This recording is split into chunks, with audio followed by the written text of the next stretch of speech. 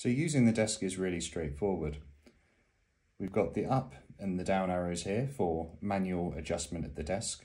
So we can manually move the desk up like this, and we can move the desk down like this. We can also set our preferred sitting and standing position. So once I have the desk in the right position, so for me, I think it's around 73 centimeters. This is kind of perfect for me. We're sitting, we should be sitting with our elbows at 90 degrees. So come over to the control panel here. I'm gonna hold down the M button until the display flashes. You get S, and then I'm gonna press down. This sets our memory seating position. To move to your sitting or standing position, we need to hold either the down arrow or the up arrow, depending on which one you want to go to, for three seconds, as you can see here. So I'm going to hold the up arrow. The screen flashes and it will continue to move on its own. That's probably perfect for me.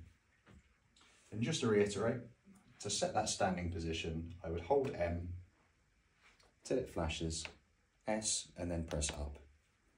And that's done. That's my standing position saved now.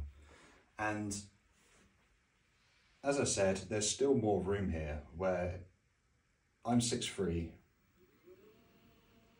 it still goes higher. So this desk is really suitable for anyone up to around six foot four, six foot five can comfortably stand here. Next feature on the desk that we can talk about is the sit, sit stand reminder. So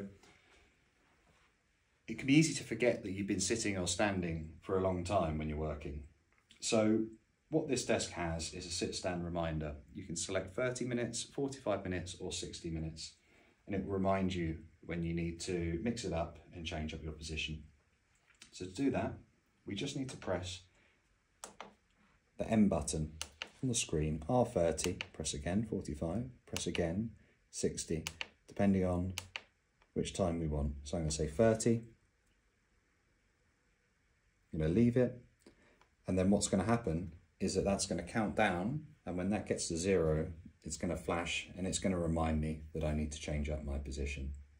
I can just reset it by cycling through back to the height.